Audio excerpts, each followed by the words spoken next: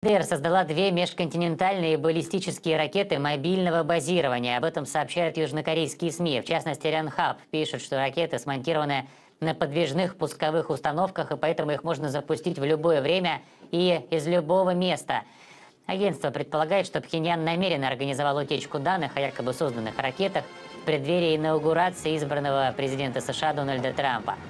Напомню, лидер Северной Кореи Ким Чен Ын в своем новогоднем обращении к народу заявил, что его страна находится на завершающем этапе подготовки к испытаниям межконтинентальной баллистической ракеты.